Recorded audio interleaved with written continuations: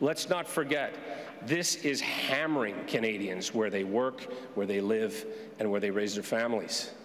And so, there's no policy better that shows how out of touch with Canadians this Liberal government really is than this hated Trudeau carbon tax. This tax is particularly punitive, as we know, in rural parts of the country.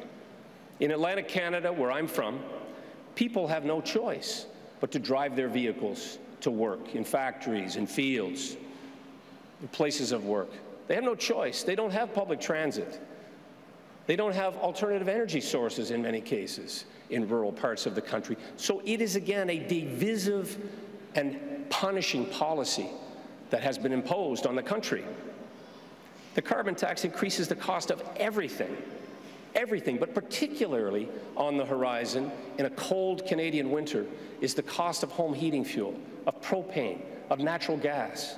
Now, I, for one, coming from Atlantic Canada, sure wish we had an Energy East pipeline right now bringing good Canadian, safe, ethical oil to Atlantic Canada to export to the world.